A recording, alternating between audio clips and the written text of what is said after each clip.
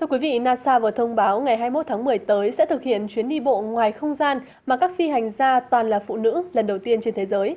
Kế hoạch này đã chuẩn bị sẵn sàng sau gần 7 tháng bị trì hoãn do thiếu trang thiết bị phù hợp.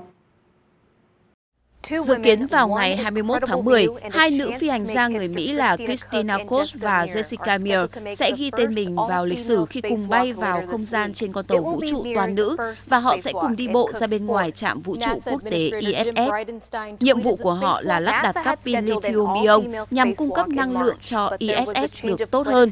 Đây là lần thứ tư trong 10 lần đi bộ ra không gian được lên kế hoạch trong 3 tháng. Nó có thể lập một kỷ lục về những lần đi bộ ra không gian phức tạp kể từ khi ISS được hoàn thành vào năm 2011.